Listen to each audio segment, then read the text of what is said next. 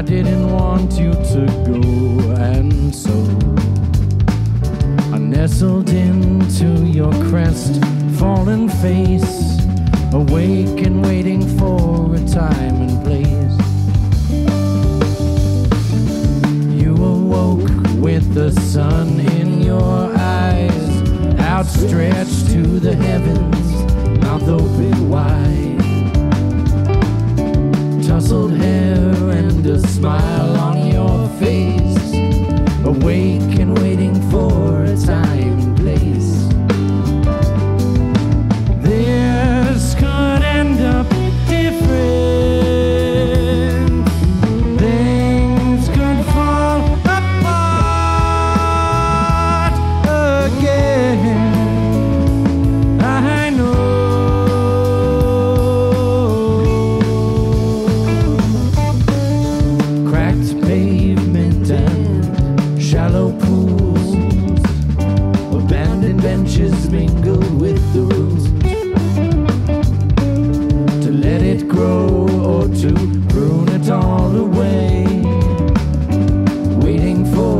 Time